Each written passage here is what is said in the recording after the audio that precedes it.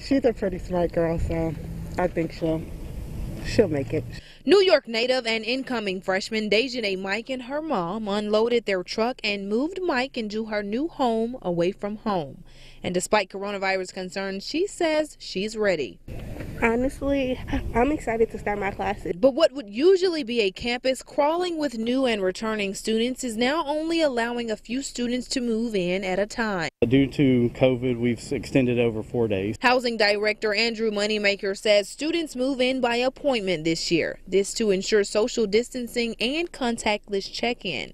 He says move-in day this year is bittersweet. In efforts to keep students safe, welcome activities like playing music and handing out snow cones are canceled. It's way different than it has been in the past, but we've had a lot of good attitudes from students and parents. Although coronavirus is a concern, Dejanay Mike says that's not her biggest concern. The only thing I'm really nervous about is being away from my mom. I can't, I can't live without my mom.